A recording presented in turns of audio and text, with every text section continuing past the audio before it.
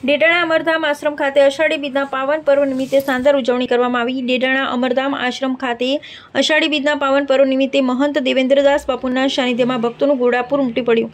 જેમાં સવારમાં નિશાન ચડાવવામાં આવ્યું તેમજ એકાવન કુંડી યજ્ઞ તેમજ બાંભણિયા બ્લડ બેંક દ્વારા રક્તદાન કેમ્પ યોજાયો, જેમાં રક્તદાન કરી માણસને અમૂલ્ય જિંદગી બચાવવા સોથી વધુ લોકોને સહભાગી થવાનો અવસર પ્રાપ્ત થયો. તેમજ રાત્રિના સમયે પ્રકૃતિના ખોળે પંદર હજારથી વધારે ભક્તજનો દ્વારા ભોજન અને ભજન સોથે કોમી એકતાના દર્શનની સાથે દેવેન્દ્રદાસ બાપુના દર્શન કરી ધન્યતા અનુભવી. તેમજ બાલકદાસ બાપુ તેમજ મુક્તા માતાજી અમરમાની અમૂલ્ય સેવા દર્શન જોવા મળ્યા. અષાઢી બીજના પાવન પર્વ નિમિત્તે ભવ્ય લોકડાયરાનું આયોજન કરવામાં આવ્યું, જેમાં લોક સાહિત્યકાર ભોળાભાઈ આહિર, જાણીતા ભજનિક જનક ડવેગડ છોટે રામદાસ, નૈતિક વ્યાસ, પ્રખ્યાત ભજનિક ગાયિકા રિંકલ પરમાર તેમજ તન્વી ગઢવી અંસોયા શિયાળ દ્વારા સંતવાણીની રમઝટ બોલાવવામાં આવી. આ કાર્યક્રમમાં રાજુલાના ધારાસભ્ય શ્રી હીરાભાઈ સોલંકી સહિતના વિવિધ સમાજના રાજકીય, બિન રાજકીય અગ્રણીઓએ હાજરી આપી. તેમજ પત્રકાર મિત્રોમાં national press association IT Saurashtra zone પ્રમુખ શ્રી હસમુખભાઈ શિયાળ, મોહસિન પઠાણ, પ્રવીણભાઈ મકવાણા, લોકસામાન ન્યૂઝ ખાસ હાજરી આપી હતી. બ્યુરો રિપોર્ટ વિક્રમ સાખટ અમરેલી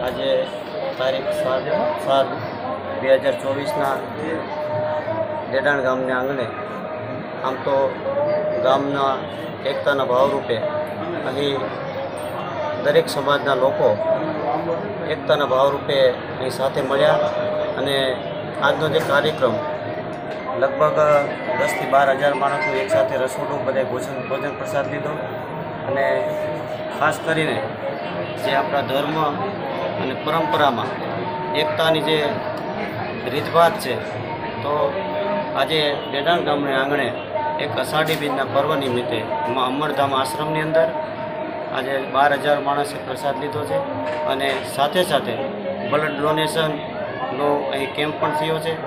સો બોટલો અહીં બ્લડ ડોનેશનની દાન પણ થયું છે. અને આજુબાજુ ગામના જે આગેવાનો છે એ પણ અહીં સહયોગી બન્યા છે.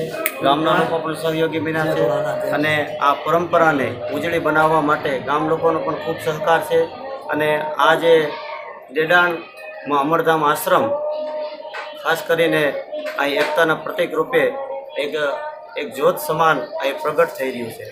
એટલે ખૂબ ખૂબ અહીં જે જનતા આવી અને જે સાથ સહકાર અને જે સેવા આપી છે અને પાંત્રીસથી ચાલીસ ગામના લોકોએ અહીં મંડળો આવીને ખૂબ પણ સહકાર આપ્યો છે એટલે ખૂબ ખૂબ ધન્યવાદ બધાને.